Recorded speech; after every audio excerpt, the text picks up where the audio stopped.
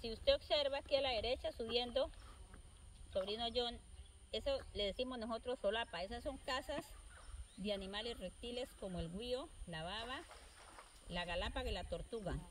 Ahora que se quema el caño, usted se viene, trae una linterna y alumbra hacia allá y allá al fondo por debajo están metidas las galápagas con las babas y con, las, con los bonitos mm, Esa es una forma de protección de esos animalitos y esa es una, una cama donde ellos se protegen. En el pleno invierno, cuando esto se llena de agua, ahí sí no sé si ellos se refugian ahí o no se refugiarán, pero en, el verano sí, usted ahí los encuentra. Entran a dormir y salen a comer al, al. Esas son cosas que uno no las, que no las conoce la gente porque cuando vienen de paseo pues no van a alcanzar a legalizar, pero uno que vive por acá se da cuenta dónde duermen los animalitos, alguna clase de animales.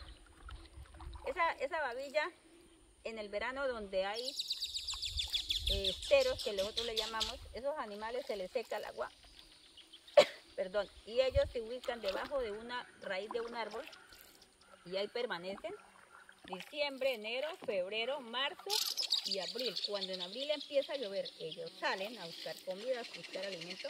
Y ellos son flaquitos, son acabaditos. ¿Por qué? Porque ellos tuvieron una temporada de ayuno.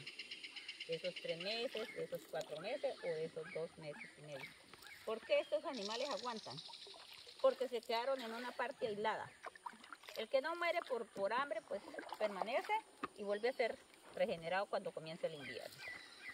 Porque uno encuentra caminando del centro del bosque, de la, de sabana hacia el, alrededor del caño y encuentra uno de los animales que están atravesando a pie.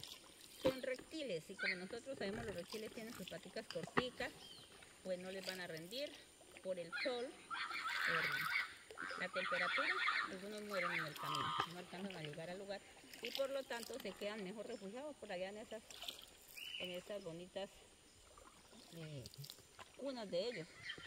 Pero todo es natural todo. El hombre no hace nada ahí. Esto es natural. Cuando el hombre destruye, se quema el bosque, se quema la sabana, estos animalitos están refugiados en esos sectores, se mueren por asfixia, se mueren por calor de la candela.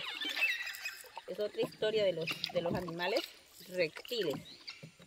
Porque ya sabemos que el pez de inmediato no tiene agua, dura poquitos minutos y se muere porque le hace falta el oxígeno. Y se lo devoran las garzas los amuros, el cerdo. Ese es el alimento para muchas aves y para muchos mamíferos como los cerdos. Entonces aquí los atardeceres son muy bellos.